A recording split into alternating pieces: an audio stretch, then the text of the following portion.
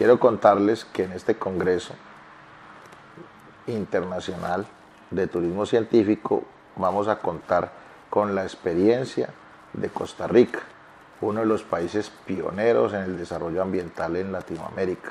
Desde 1976, Costa Rica se ha destacado por construir una nación hacia la naturaleza. Es que este Congreso contará con la participación de un experto internacional como el doctor Randall García, director del Instituto de Biodiversidad de Costa Rica. Costa Rica es uno de los países que más le ha apuntado a la naturaleza en Latinoamérica y hoy es un referente a nivel mundial.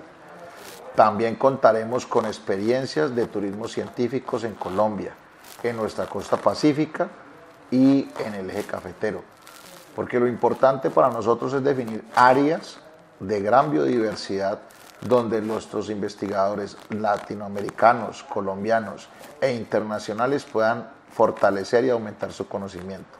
En estos momentos que vivimos una pandemia, que tenemos muchas dualidades y muchas discordias de, de, por qué pasan las cosas naturalmente, contar con una propuesta de turismo científico de naturaleza para nosotros es un orgullo y es un buen desarrollo para nuestro país.